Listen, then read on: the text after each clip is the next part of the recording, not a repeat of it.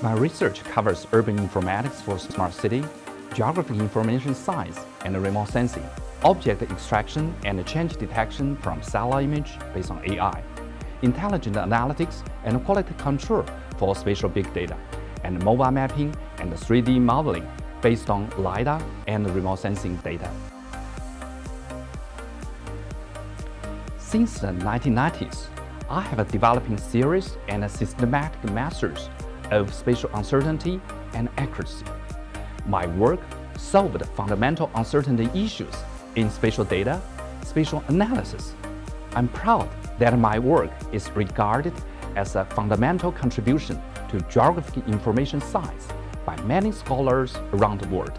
Later in my career, I have developed a series and methods for controlling and improving the reliability of spatial data and new analytics on spatial big data. I edited the first comprehensive book on the series, technologies, and applications of urban informatics. The book has been selected as textbook or reference book by MIT and many other universities. I have applied my spatial uncertainty research to secure and improve the quality of government spatial data. In 2015, I conducted an independent third-party evaluation of the reliability and the quality of China's first National Geographic Condition Survey. I also established the quality model and standards of spatial data for Hong Kong, Macau, mainland China, and international academic societies. I have developed AI methods for mapping landslide from remotely sensed data.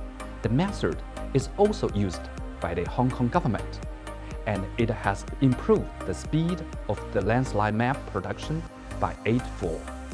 During the pandemic, I developed a spatial temporal prediction model for assessing the COVID-19 symptom onset risk. Our study on Omicron, based on the new models, has been highly regarded by of the World Health Organization. My long-term goal is to develop more smart cities technologies and to improve the quality of the life of people. The first kind is related to the demand for more advanced smart city technologies. My team is studying the construction of high-definition maps and the related technical standards for Hong Kong to help realize autonomous driving in the city. The second kind of a challenge is about the rapid change urban environment and evolving human behavior. I'm also studying how to build a flexible spatial data and analytics infrastructure for epidemic prediction.